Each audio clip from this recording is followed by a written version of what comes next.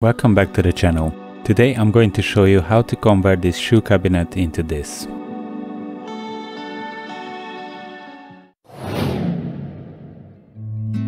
First I cut out the plywood for the top and bottom part and for the frames that I used to make the doors.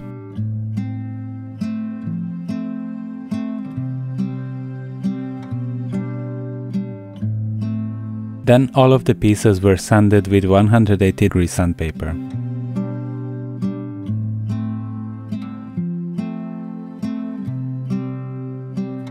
We painted the top and bottom parts black and the frames white.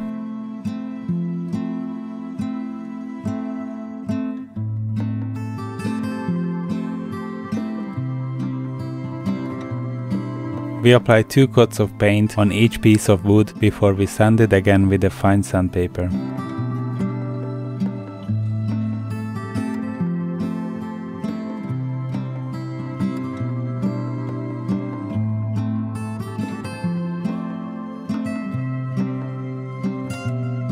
Then we put on a third coat. When dried, we finish them with two coats of poly. I made this simple jig, it helped me to drill the holes for the dowels exactly in the middle of the wood. I used wood glue and dowels to build the frames for the doors and the shoe cabinet.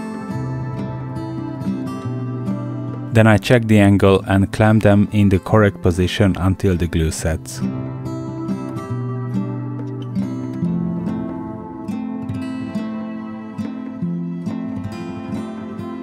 I cut out a piece of wood to support the fabric in the middle. Before putting the bottom part, I removed this small piece from the shoe cabinet.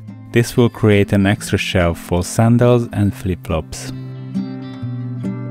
I used the countersink to hide the screw heads under the surface.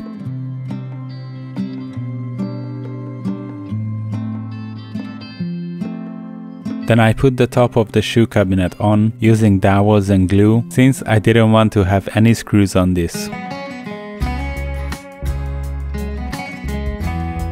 After this I removed the old doors that I'm going to replace and I added legs to the cabinet.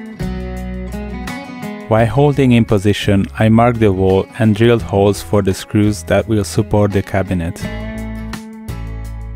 Then I made sure it's perfectly aligned before screwing it to the wall.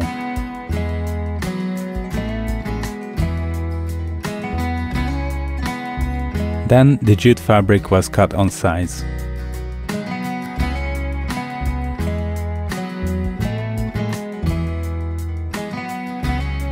We used a staple gun to attach to the frame.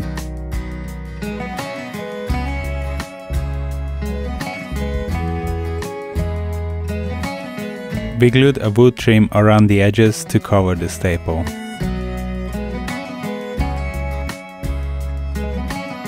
I marked exactly the middle of the frame, then drilled a hole and installed the knobs. All I had to do now is to screw the frame, put the middle shelf back and place the brackets back into the cabinet. I also installed two shelves on the wall for extra storage. Since the cabinet got taller, I had to move the mirror above it a bit higher.